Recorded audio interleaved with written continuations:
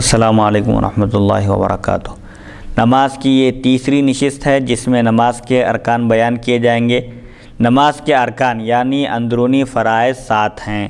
سب سے پہلا اندرونی نماز کے اندر کی نماز کے اندر کے فرائض۔ سب سے پہلا فرض تکبیر تحریمہ۔ دوسرا قیام۔ تیسرا فرض قرات چوتھا رکوع۔ پانچواں سجدہ۔ چھٹا قاعدہ اخیرہ۔ ساتواں نماز کو اپنے ارادے سے ختم کرنا۔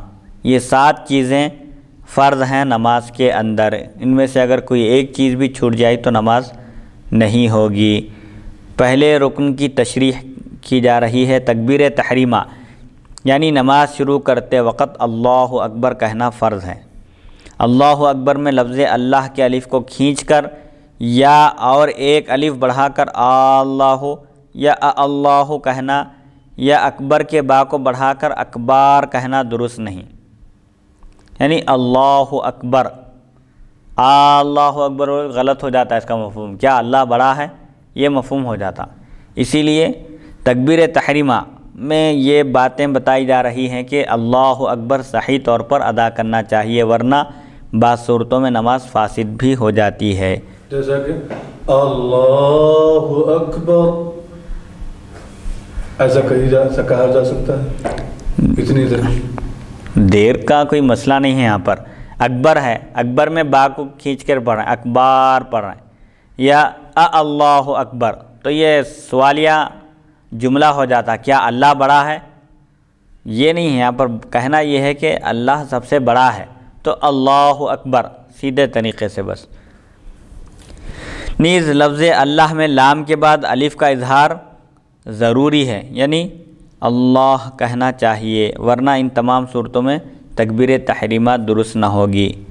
یعنی تھوڑا سا کھینچنا چاہیے تھوڑا سا کھینچنا چاہیے۔ تکبیر تحریمہ جنازے کے سوا اور تمام نمازوں میں شرط ہے اور نماز جنازہ میں رکن۔ اس معنی میں کہ اس کو یہاں ارکان نماز کے ضمن میں ذکر کیا گیا ہے۔ اس لیے ذکر کیا گیا ہے کہ یہ نماز کے ساتھ ایلی ایسی ملی ہوئی ہے جیسے گھر سے دروازہ ملا ہوا رہتا ہے۔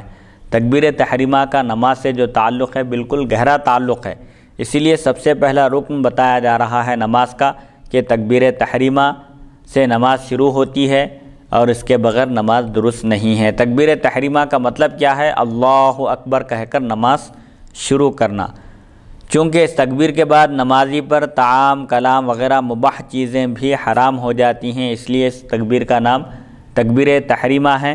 اللہ اکبر کہہ کر جب نماز شروع کی جاتی ہے، تو اس کے بعد کھانا پینا، گفتگو کرنا، بات کرنا، یہ سب حرام ہو جاتا ہے۔ اسی لیے اس تکبیر کو نماز شروع کرنے کے لیے جو تکبیر کہی جاتی ہے، اس کو تکبیر تحریمہ کہتے ہیں۔ اچھا اللہ اکبر کہنا فرض ہے۔ اگر کوئی اللہ اکبر کا ہم معنی کوئی اور لفظ، مثال کے طور پر اللہ کبیر یا اللہ اعظم وغیرہ کہے، لیکن اگر کہنا چاہے اس طرح، اللہ اکبر کے بجائے اگر اللہ کبیر یعنی اللہ بڑا ہے، اللہ اعظم، اللہ تعالیٰ عظیم تر ہے بزرگی والا ہے، یہ کہے تو کہہ سکتا ہے لیکن خاص اللہ اکبر کہنا واجب ہے۔ یعنی اللہ اکبر کہنا تکبیر تحریمہ میں، تکبیر تحریمہ کا مطلب کیا ہے؟ اللہ اکبر کہنا، یہ واجب ہے۔ تکبیر تحریمہ نیت کرنے کے ساتھ ہی کہنا چاہیے اور حالت قیام میں یعنی سیدھے کھڑے ہوئے کہنا چاہیے، ورنہ نماز صحیح نہیں۔ مثلا امام کو رکو میں پایا، اور اللہ اکبر حالت قیام، یا کم از کم ایسی حالت میں کہا جو بنسبت رکو کے قیام سے قریب تر تھی تو نماز صحیح ہے۔ اور اگر جھکے ہوئے کہے، ہوئے کہا، یا لفظ اکبر کو رکو میں جا کر ختم کیا تو نماز نہ ہوگی۔ پہلی بات یہ بتائی جا رہی ہے کہ تکبیر تحریمہ نیت کرنے کے ساتھ ہی کہنا چاہیے۔ نیت اور تکبیر تحریمہ میں کوئی فصل نہیں ہونا، کوئی گیپ نہیں ہونا۔ اور حالت قیام میں سیدھے کھڑے ہوئے کہنا چاہیے۔ سیدھا کھڑا ہوا رہنا، اللہ اکبر کہنا۔ مثال کے طور پر اگر کوئی مسجد میں ایسے وقت پہنچا جب امام رکوع میں ہو، تو رکوع میں جاتے ہوئے کوئی کہہ رہا ہے، اللہ اکبر۔ اللہ شروع کیا اور رکوع میں جانے کے بعد اکبر کہا۔ تو اس کی تکبیر تحریمہ درست نہیں۔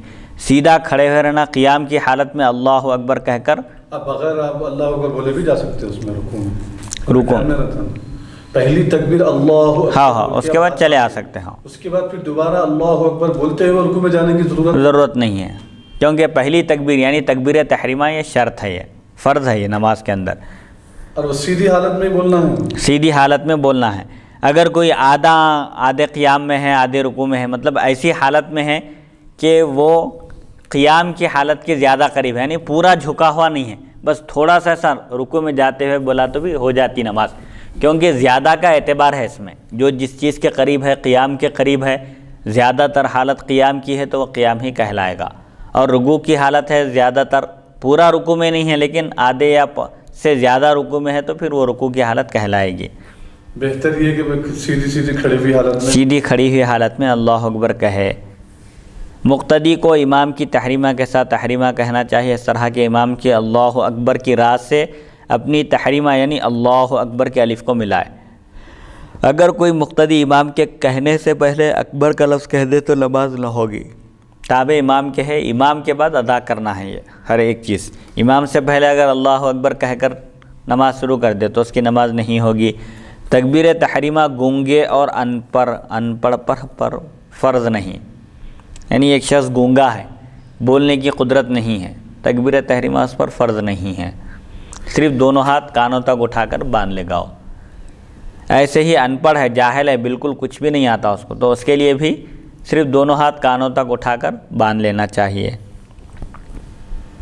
اور لوگوں کو جو ہے، اس اس فقہی مسئلے کے ذریعے جو ہے، لوگ نصیحت حاصل کرنا چاہیے کہ اکثر لوگ امام صاحب ابھی رکو میں رہتے ہیں جو ہے چلے جاتے ہیں ابھی سجدے میں امام صاحب نہیں جاتے ان سے پہلے جو ہے لوگ سجدے میں چلے جاتے ہیں جی تو پورا امام صاحب جو ہے رکو کرنے کے بعد رکو کرنا چاہیے امام پورا سجدے میں جانے کے بعد سجدے میں جانا چاہیے مختلف یا تو امام کے ساتھ ساتھ ہو جاتے ہیں یا نہ جب امام سے پہلے چلے جاتے ہیں ہاں اسی لیے بتا رہا نا بعض ناواقف جب امام کو رکو میں دیکھتے ہیں تو فوراً رکعت پانے کی کوشش میں اللہ اکبر کہتے ہوئے جھک جاتے ہیں۔ جس سے تحریمہ حالت قیام میں ادا نہیں ہوتا۔ تکبیر تحریمہ حالت قیام میں ہونا ہے، سیدھے کھڑے ہوئے رہنا ہے۔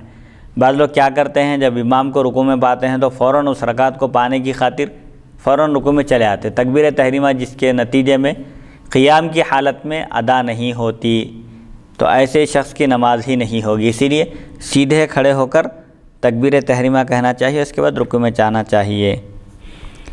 اب یہ رکعت کو پانے کی صورت میں پوری نماز ہی برباد کر لیتے ہیں اور بجائے رکعت ملنے کے نماز ہی برباد ہو جاتی ہے، پر ضرورت ہے کہ اس مسئلے کو پیش نظر رکھیں اور تکبیر تحریمہ کو حالت قیام ادا کر کے پھر رکو میں جائیں۔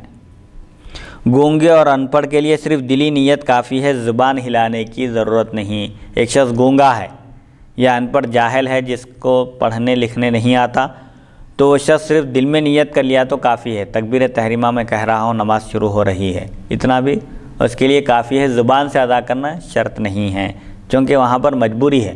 گونگا ہے، بول نہیں سکتا، ان پڑھ جاہل ہے، ادا نہیں کر سکتا الفاظ تو دل کی نیت بھی کافی ہے۔